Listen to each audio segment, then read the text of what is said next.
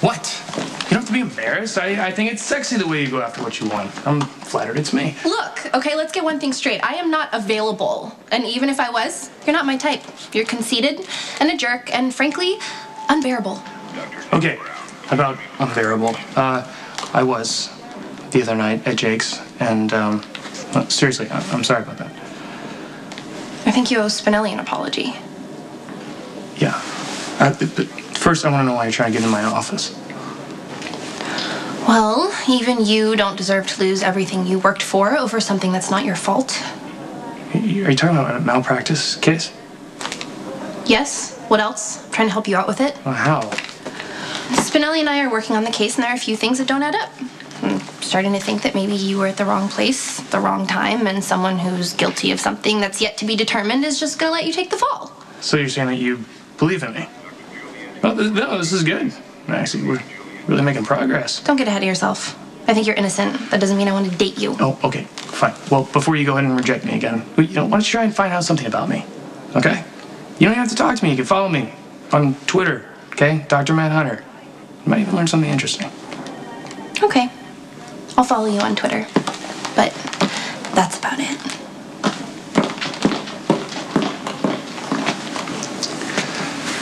Your wife has come to me twice, begging me and my brother to settle the lawsuit out of court, saying that if we fight it, it will cause damage to your career that will be beyond repair. Andrea's right. She usually is. I ran as a law and order candidate.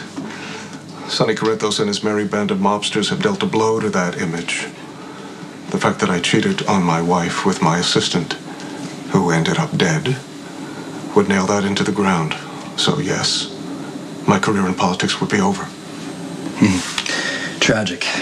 Not as tragic as a young woman enthralled with man in position and power going into an affair and meeting with a fatal accident. Especially if it wasn't an accident. What do you mean? Well, Mayor, I'm speaking to you as a doctor, also a man that's had plenty of shower sex. It was apparent to me right away that the head injury that Brianna sustained was much more serious than the story that you told us. The autopsy came back.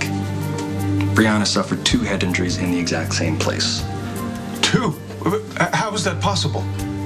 Well, I was wondering that myself, and then I asked, maybe, you know, maybe Brianna was making demands that you didn't want to meet. Maybe she wanted to go public with the affair, and you wanted to take care of that, make it look like an accident.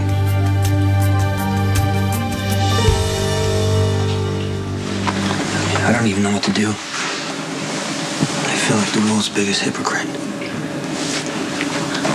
Why? Because Michael is flailing. Right now, he's he's he's looking for an identity, a a place where he fits in. That's understandable. I mean, he's a teenager. That's what they do, no, he's no ordinary teenager, Sam. He's Sonny's son. He's my nephew. He looks at what we do like it's like it's ELQ, a family business handed down from one generation to the next. Yeah, I know. Unfortunate, but again, kind of understandable. I just, I, I really, I, I don't understand where you feeling like a hypocrite fits in in all this. Michael approached me about mentoring him. Just like I approached Sonny. I, didn't, I even want to hear it. I told him there's no way that it's going to happen.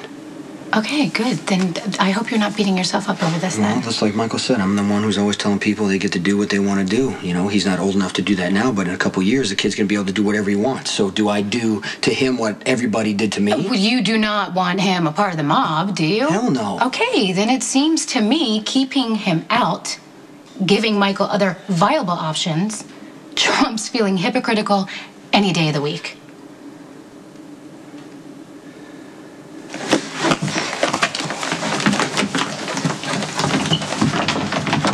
Oh, hi. I was expecting to find Sonny in here, but I, I'm glad you're here. Can we have a chat? A chat?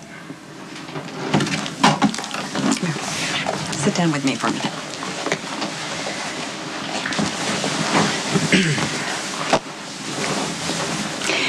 In my shock and horror at um, seeing you and Kristina at Jake's, I don't think that I expressed myself clearly, and I wanted to rectify that.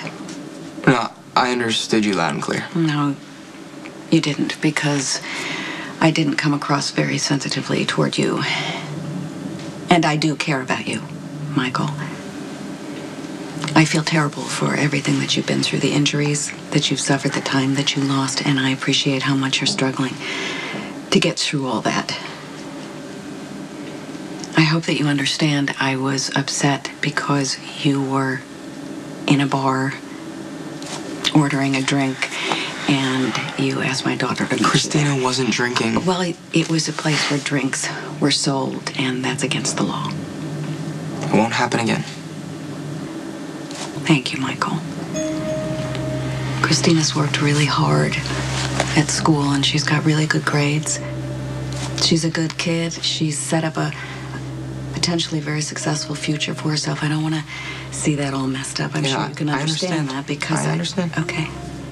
You don't want Kristina's brand imaged half brother Oh, to mess up her nice, tidy future. And now you're gonna order me No. to stay away from her. She can't order you to do a damn thing. Why don't you get something to eat and I'll take care of her, okay?